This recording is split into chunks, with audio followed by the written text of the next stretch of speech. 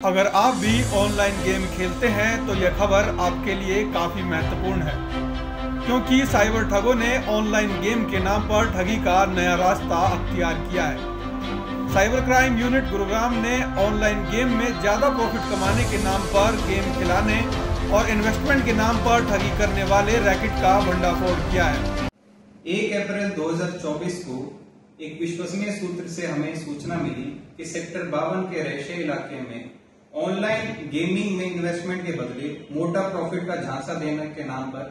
काफ़ी लोगों से ठगी की जा रही इस कार्रवाई पर अमल लाते हुए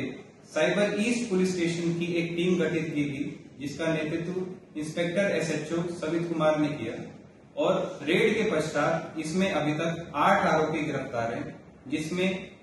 इस रैकेट के मुख्य संचालक भी गिरफ़्तार है, जिसकी पहचान सुनील कुमार निवासी फतेहाबाद के रूप में हुई। ये रैकेट पिछले एक साल से चल रहा था और इसके जो किंग पिन या मास्टर माइंड है, वो अभी तक उसकी पहचान श्रीलंका से ज्ञात हुई है। इन आरोपियों से अभी तक उनतीस मोबाइल फ़ोन और चार लैपटॉप भी बरामद किए गए आगे की कार्रवाई चल रही है और जैसे भी इन्वेस्टिगेशन में आगे फैक्ट्स आएँगे, वो आप सबके साथ मुहैया कराया जाएगा।